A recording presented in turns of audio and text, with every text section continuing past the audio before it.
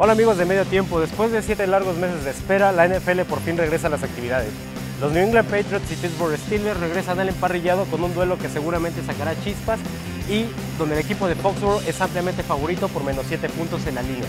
Mencionas ahí que los Patriots son favoritos y creo que el factor del regreso de Tom Brady tiene mucho que ver, ya que este jugador hará la diferencia en la cancha, mientras que los Steelers no tendrán a tres jugadores claves, que son su corredor Livion Bell, el, el centro Marquise Ponce y el receptor Martavis Bryant. Así que creo que los Patriots se llevarán su primera victoria. No será un marcador holgado, pero creo que sí sacarán el triunfo.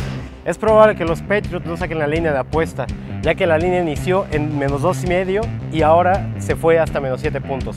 Esperemos a ver qué pasa en el partido de este próximo jueves.